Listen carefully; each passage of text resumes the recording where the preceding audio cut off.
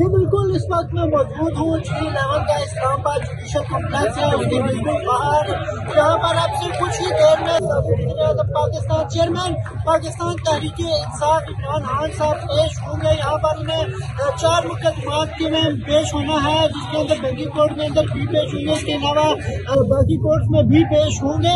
میں آپ کو بتاتا چلوں، یہاں پر کارکنوں کی بڑی تعداد دکھائی دے رہی ہے، جو بہت زیادہ پرجوش دکھائی دے رہے ہیں۔ ہمارے بازیاں عمران خان صاحب کے حق میں کی جا رہی ہیں جبکہ خواتین کی بھی بڑی تعداد یہاں پر موجود ہے، جو اپنے قائد کا یہاں پر انتظار کر رہے ہیں کہ کس وقت وہ پیش ہوئی یہاں پر میری گھر جانب اگر میرے کیمرہ مین آپ کو دکھاتے چلے تو پولیس کی بھاری نفری تعداد ہے۔ سیکورٹی کے تمام تر انتظامات مکمل کر لیے گئے ہیں، جبکہ میں آپ کو مزید یہ بتاتا چلوں کہ جو کورٹ کا احاطہ ہے، اس کے اندر صرف متعلقہ افراد کو ہی جانا دیا جائے گا۔ اس حوالے سے میں آپ کو بتاتا چلوں کہ کارکن صرف یہاں پر موجود نہیں ہے، جبکہ موٹر میں موٹر میں چوک کے اوپر بھی موجود ہے۔ اور وہاں پر بھی وہ اپنے قید کا استقبال کرنے کے لیے تیار ہیں۔